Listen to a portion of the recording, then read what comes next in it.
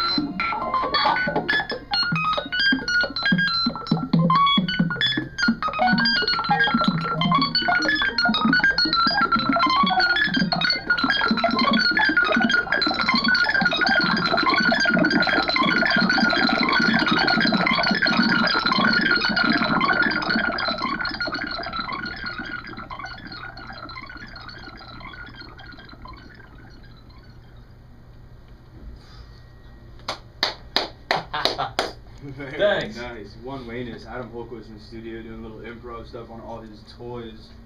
That uh, ambient electronic thing. Uh, that wasn't really so ambient. That was really it kind was of really kind, of, of, uh, noisy and, and and irritating. But Is that where you're at right now? You're Um, just in a noisy, irritated mood. I yeah, I guess so. Um, you know, it, what I do and how it sounds sort of depends on what I bring with me. You know, the the live rig that I'm using for the show on Saturday and for when I play out and stuff right now has a lot more stuff than this. It's got my Obviously. it's got my laptop that I do a lot of looping on and a lot of processing of, um, you know, quote unquote real instruments and playing um, some bass and a lot of lap steel actually. And uh, I got this this funky old retro '70s organ for Christmas. Uh, it's a little reed organ. It's, so it's just got a motor that blows air across reeds, Right. and it sounds um, sort of like a wheezy old accordion. And I'm running that through um, basically through like a guitar signal chain, and uh, running that through my laptop and looping that through my laptop, and uh, making some making some sounds with that, and uh, using a lot of a lot of spoken word samples and uh, field recordings and um, throwing a whole bunch of stuff into it. But yeah, this particular uh, thing that I brought with me today sort of lends itself to um, sort of aggressive sequenced stuff like what I just did. So that's what I just did just now.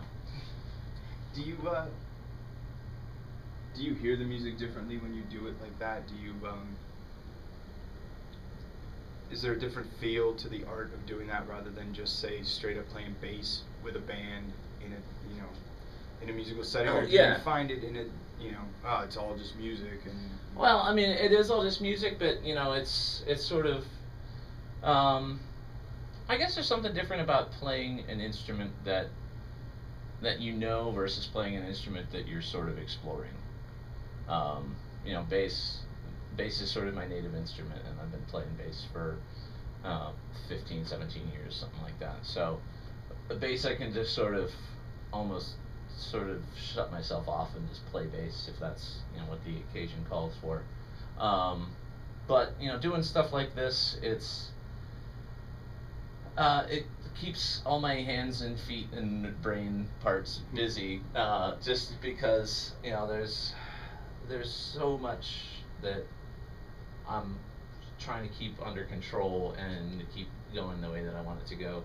Um, which you know I think sometimes people hear the phrase electronic music and they they get the idea or the mental picture of um, you know a dude just hitting play on a laptop. Right.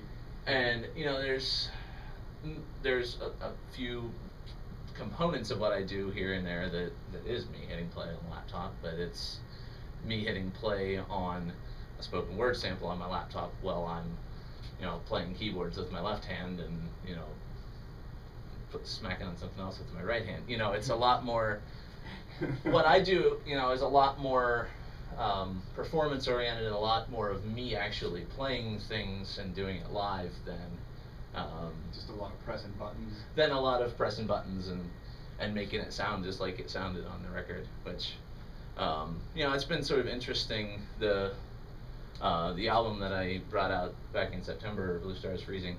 Um, that was all sort of obviously made in the studio and sort of crafted one layer at a time. And uh, at the time I started it, at least, I didn't really have a whole lot of idea that I would eventually be coming out and trying to play some of the stuff live. So I didn't really, um, you know, that wasn't really a consideration of oh, I only have two hands and I only have two feet and you know I can only do so many things at once. So there's there's stuff on there that I will probably never play live or never play live in a way that sounds like it sounds on the album. And there's stuff that you know I've gone back and learned, and there's stuff that I've that was an improv in the first place that I've had to go back and sort of Yeah, transcribe and and- yeah. reteach myself and break it down and figure out okay what did I do there and you know how can I do this in a way that it's recognizably the the the thing that people know it as.